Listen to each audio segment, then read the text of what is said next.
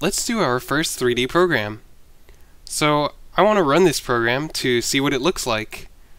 So what you want to do is you want to download the source code from my website and open it. So if you're using Visual C++ Express, this will be a quick refresher on how to create a project so that you can edit and run a program from my website. So I'm just setting up this project right here.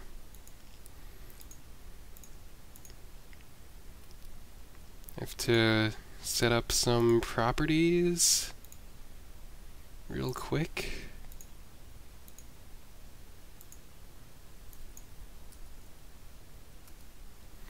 And I'm going to build the project. So it's compiling, and now I'm going to run it. And here it is. Pretty basic, kind of lame, but that's okay. Things will pick up. So how does this program work? Well, first, let's understand a little bit more about how OpenGL does things. So OpenGL has, first of all, the standard two axes, the x direction pointing to the right, the positive y direction pointing up, and it also adds the z axis, which points out of the screen, the positive z direction. And what OpenGL does is it simulates your eye. So here we have your eye, which is at the origin, and you're looking in the negative z direction. So what OpenGL does is, if for instance it wants to draw a triangle, it'll take the 3D coordinates of the triangle, and for each vertex, it will draw an imaginary line to your eye, and it'll take the intersection of that line and this screen right here. So it'll come up with this blue point right here, which is in pixel coordinates. It'll do that for all three vertices of the triangle, and it'll draw a 2D triangle connecting the three pixel coordinates. So that's basically how it works. Now let's just take a look at the code. The first thing you'll notice is this right here, this license which says you can use it for free, even in commercial projects, which is cool. And I'm just going to skim through this. You'll notice that there are lots of comments. That's because this is the first project and we want to make sure we know everything. Subsequent projects will have comments, but not tons and tons of comments. And the first thing we do in this project is if we're on Mac, we include these two OpenGL header files, and otherwise we include this one. Then we have this line here that says using namespace std, which makes it so that we don't have to keep typing std colon colon everywhere. For instance, we can type cout instead of std colon colon cout. We're going to have this at the beginning of the main.cpp file of all of our projects, pretty much. Then we have the handle key press function, which is called whenever a key is pressed. And it gets this key parameter, which is the key that was pressed.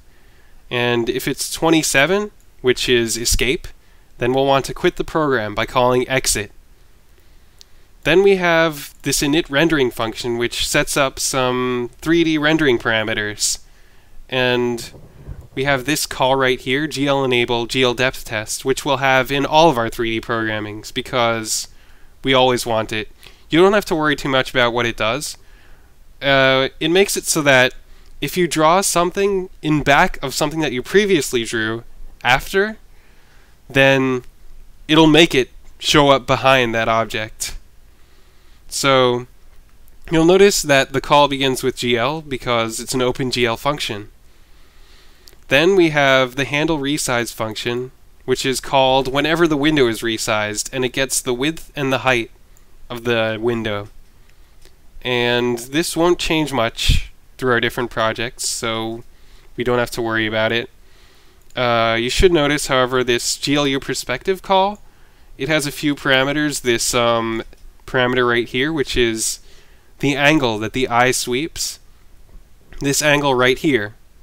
By the way, you'll notice that no matter how far away the screen is from the eye, any 3D coordinate will map to the same 2D coordinate as long as the eye angle remains the same. So then we have this parameter right here, which makes it so that if you draw something that's closer than one unit to the eye, or rather, if there's something that's closer than one unit to the eye, then we just won't draw it because we don't want it to fill the whole screen if it's really close to the eye.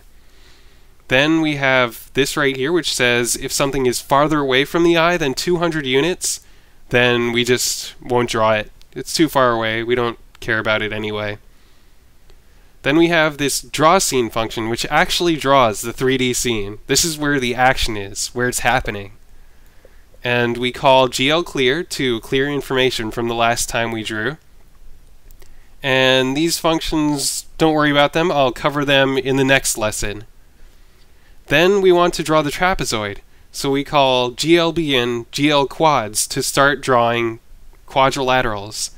And we specify the four coordinates of the vertices of the quadrilateral using calls to GL vertex 3F. The 3 stands for the three coordinates, and the F stands for floats because we're passing floats. And you'll notice that after every decimal here I have an F, that just forces the compiler to treat it as a floating point number rather than, say, a double.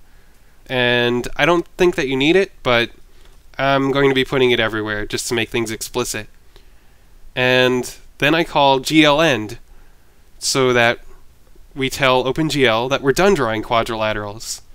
Every call to GLBegin has a corresponding call to glend. Then we want to draw the pentagon and the triangle, and we're going to break up the pentagon into three smaller triangles, which is pretty standard for OpenGL. So we're going to specify the nine coordinates of the three triangles. And OpenGL will automatically group these into groups of three. So each group of three represents one triangle, which we told OpenGL that we're drawing triangles right here. And then we want to draw the triangle, so that's another three calls to GL vertex 3F. And then we have a call to GL end, because we're done drawing triangles. And finally, we call glut swap buffers, which just sends our 3D scene to the window. And now we have our main function, which starts by initializing some stuff in glut. By the way, you'll notice that these functions here begin with glut instead of gl. We also had glu perspective, which begins with glu. That's because they're with um, the OpenGL utility and OpenGL utility toolkit. Um, I won't worry about the differences among GLUT, GLU, and OpenGL, but um, we'll just call whatever we need to call, whatever the function happens to be named. So here we set up GLUT. We have a window that's 400 by 400. We create a window, and we call the init rendering function that we saw earlier. Then we point glut to our three functions, the function that draws the scene, that handles keys that are pressed, and that handles when the window is resized. And finally, we call glut main loop, which tells glut to take over control of our program. It'll take care of redrawing the window whenever it has to, and calling handle key press and handle resize when a key is pressed or the window is resized. And this function will never return. It'll just keep on going. The only way we'll exit our program is in handle key press when we had that call to exit. And finally, we have this line return zero, which all it does is it stops the compiler from complaining at us because int main has to return something. But this line never gets reached because the program spends all of its time in glut main loop. And that's how our first 3D program